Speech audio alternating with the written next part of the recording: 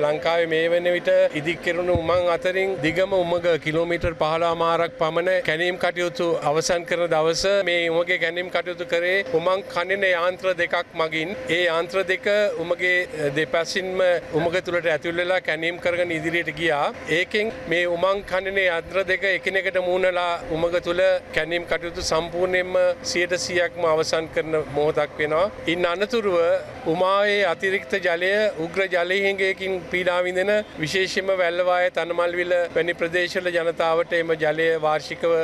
මුදවාහැරීමයි. එම ක්‍රියාවලිය කෙරෙන්නේ ඩයිරබා ජලාශය සිට මේ අපි දැන් අවසන් කරගමු හරහා ජලය ගලාගනීමට සලස්වා මේ අපි ඉන්න භූමිය සිට මීට රටසියක් පමණ යටින් දැනට ඉදිකිරීම අවසන් වී තිවෙන භූගත මෙගාවට එකසී විස්සක ධාරිතාවෙන් බලාගාරෙන් විදුලිය නිෂ්පාදනය කරලා වැල්ලවායි අලිකොටාර කියන ජලාශයට මුදවාහැරීමයි.